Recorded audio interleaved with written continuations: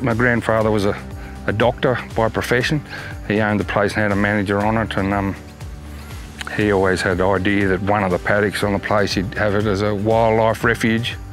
So he was obviously, um, not that I really ever talked to him about it, but he obviously put a, a strong emphasis in, on, the, on the environment. Uh, and over time, I've uh, become attached to that myself. Today we're at a 6,000 acre grazing property uh, called Brooklyn uh, at 12 Mile, um, which is near Wellington in central New South Wales. Um, and at, we're, we're, at the property um, of a farmer called Peter Barton that has been managing his property for biodiversity and conservation values for about 15 years. And by doing so, he's been able to recover a, a population of the small purple pea um, by grazing it in a way that's sustainable.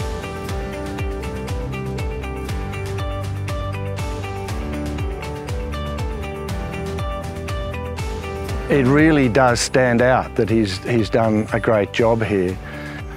He's been uh, time controlled grazing with his stock, in other words, a, a planned rotation giving his country rest. And we've just um, been up onto one of his paddocks where he's got some rather rare species of, of plants.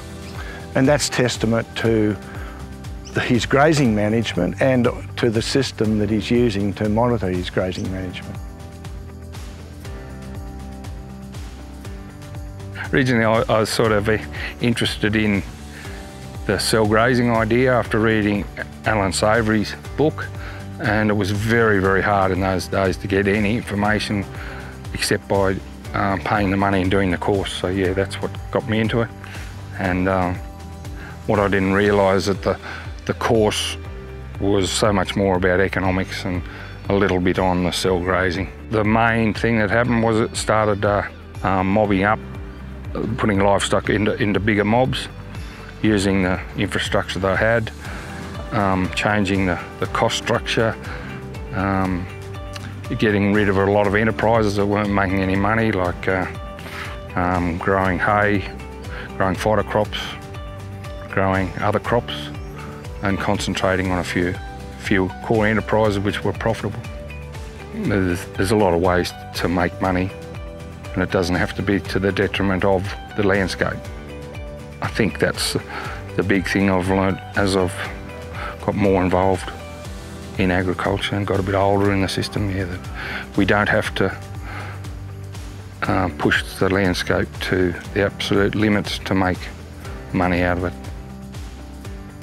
I think it's just really exciting to see someone like Peter that had so much vision so long ago and the way that he's been able to integrate the management of biodiversity within his farming system, both in terms of the grassy box woodland ecosystems that he's got and, and um, the threatened species that he has within those, but also the way that he's managing to, to recover biodiversity in the productive areas of his farmers.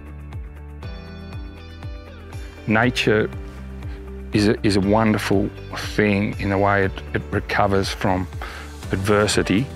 And what's exciting me lately is that uh, some of these changes that I'm seeing now, I, I didn't think I'd ever see in my lifetime, but I'm observing them. And I think hopefully if I live another 30 years or 20 years, I'll, I'll observe them exponentially from now on. I love watching that. I love walking. I love seeing that. I love observing that. It's a, I feel as if I'm doing something reasonably right. I don't know all the answers, but I'm doing a bit of good, maybe, yeah.